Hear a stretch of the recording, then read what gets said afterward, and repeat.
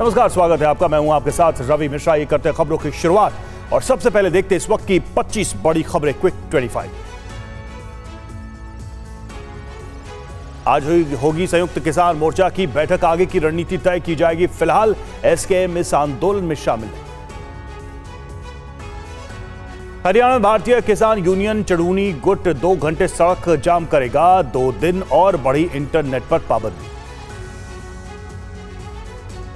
किसान नेता सरवन सिंह पंडेर ने कहा, शंभू और खनौरी बॉर्डर पर ही रहेंगे किसान। हमने शांतिपूर्ण प्रदर्शन किया, फिर भी बर्बरता।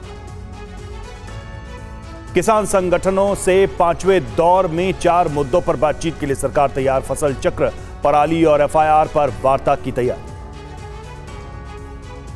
पंजाब के सीएम भगवंत मान ने कहा, किसानों को दिल्ली जाने से रोक दिया गया। क्या हम लोग अपनी राजधानी में भी नहीं जा सकते? मल्लिकार्जुन खड़गे का बयान कहा, कांग्रेस किसानों के साथ किसानों को एमएसपी की गारंटी मिलनी चाहिए, केंद्र मांगों को पूरा करे।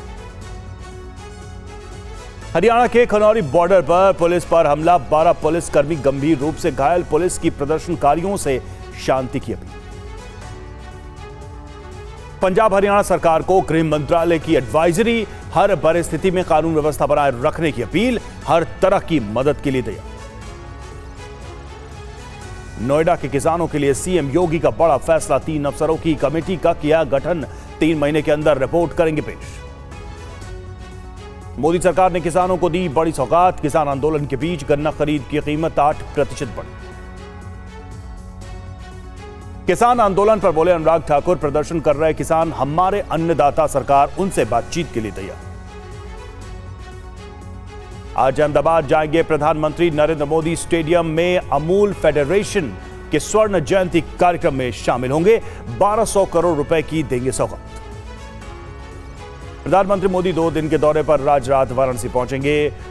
चौदह चौदह हज़ार तीन सौ सोलह करोड़ की देंगे सौगात। 36 विकास परियोजनाओं का लोकार्पण शिलान्यास।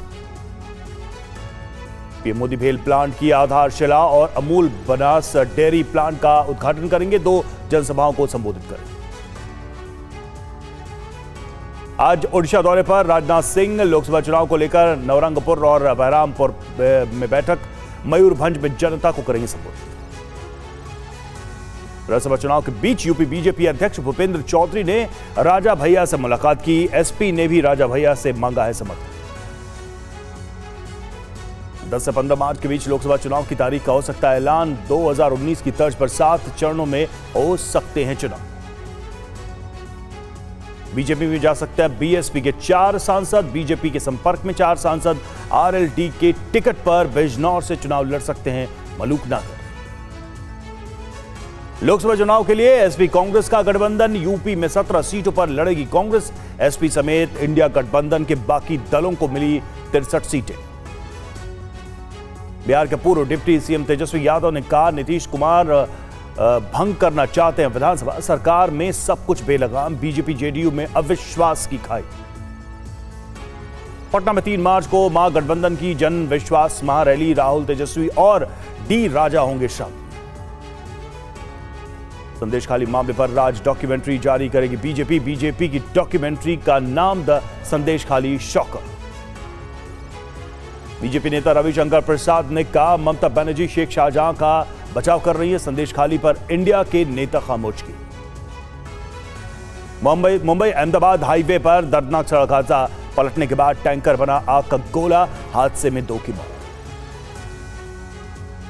मुंबई के पास वसई में 16 लाख की लूट का वीडियो आया। सामने चलते टेंपो में लटक कर लूटे 16 लाख रुपए। पुलिस ने तीनों आरोपियों को गिरफ़्तार किया।